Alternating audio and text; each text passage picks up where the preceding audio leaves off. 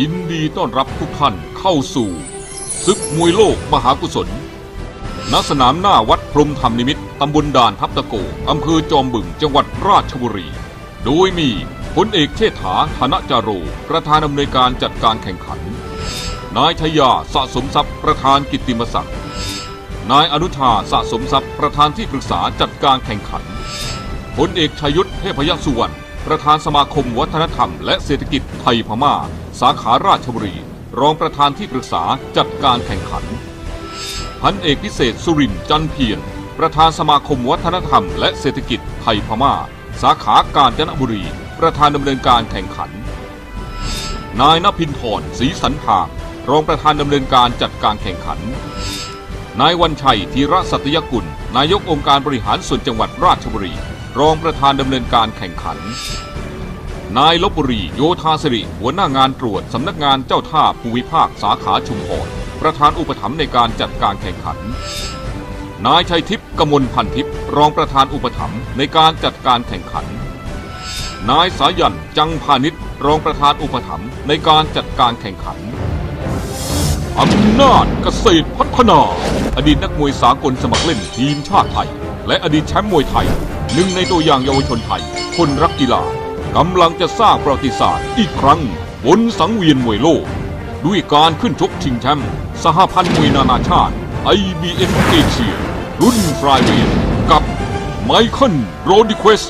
นักชกชาวฟิลิปปินส์ภายใต้การรับรองของสหพันธ์มวยนานาชาติ IBF หนึ่งในสถาบันมวยหลักของโลก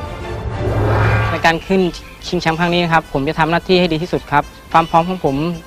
ก็พร้อมที่สุดครับผม ผมก็อยากจะบอกแฟนมวยทั้งประเทศนะครับ ส่งกำลังใจมาเชียร์ผมด้วยครับผม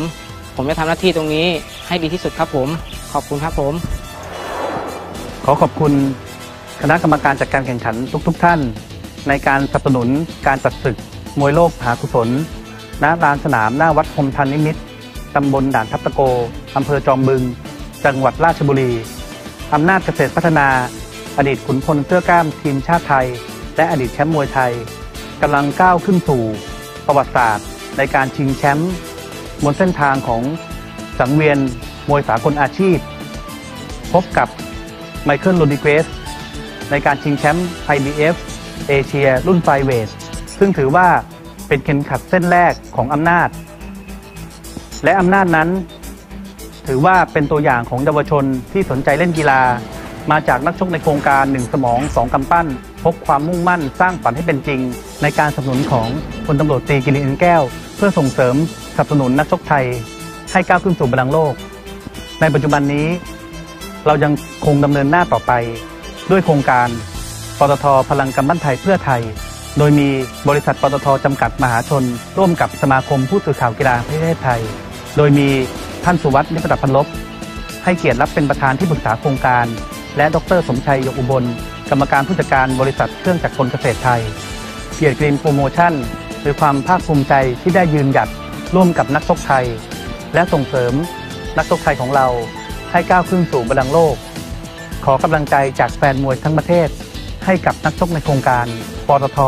พลังกำปั้นไทยเพื่อไทยทุกคนด้วยครับ ขอบคุณครับ ขอแรงใจคนไทยทั้งชาติร่วมกันเชียร์ ร่วมกันลุ้นอำนาจเกษตรพัฒนา ให้ก้าวขึ้นสู่บัลลังก์โลก